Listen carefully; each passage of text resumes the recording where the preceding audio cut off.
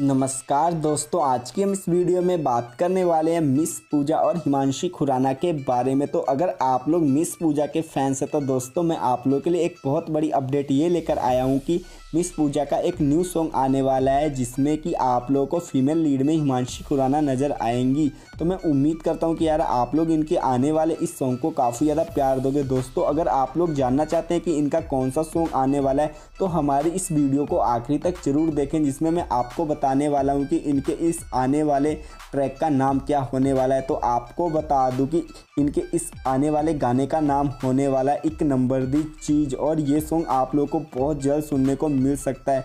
दोस्तों, अगर हम इसके म्यूज़िक के बारे में बात करें तो आपको बता दूँ कि music and lyrics nation brother ने दिया है इस सॉन्ग को और प्रोड्यूसर राजेश गुप्ता हैं इस सॉन्ग के और वीडियो रेगन दद्दू ने किया है। तो मैं उम्मीद करता हूँ कि यार आप लोग इनके आने वाले इस सॉन्ग को काफ़ी ज़्यादा प्यार देना।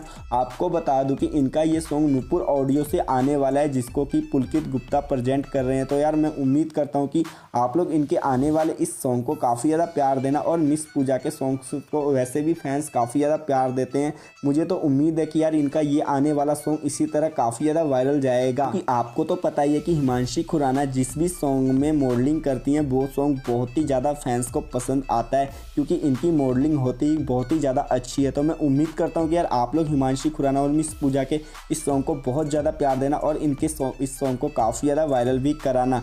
तो अगर आपको हमारे चैनल पर ये वीडियो अच्छी लगी तो हमारे चैनल को सब्सक्राइब ज़रूर करें ताकि आगे भी हम ऐसी अपडेट आप लोगों के लिए लाते रहें। धन्यवाद दोस्तों।